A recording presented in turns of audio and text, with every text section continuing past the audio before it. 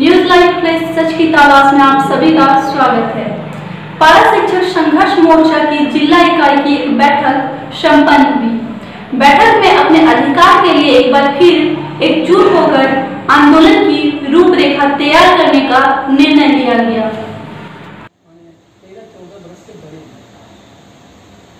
और